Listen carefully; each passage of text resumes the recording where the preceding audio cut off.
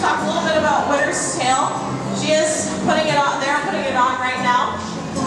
We do the work her tail on a daily basis in physical therapy, and it's very important that we do this so that we can stretch those overdeveloped muscles and get them moving in the correct motion that they're supposed to be moving in.